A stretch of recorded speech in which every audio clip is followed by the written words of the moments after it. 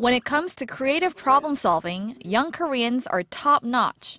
The OECD released the results of its 2012 Program for International Student Assessment, or PISA, which surveyed about 85,000 15 year olds from 44 countries, including member nations of the OECD.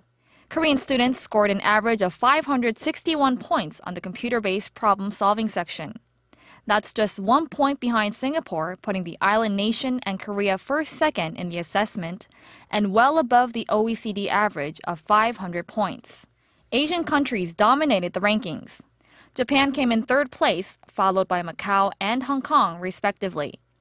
Considering the margin of error, the results are referred to in scopes such as first second when there is no significant difference in the scores.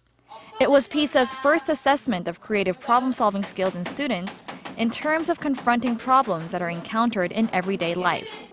It looks at whether they have acquired the key knowledge and skills needed for full participation in modern society. The percentage of Korean students that scored a rank of level 5 or above out of a scale of 6 stood at over 27%.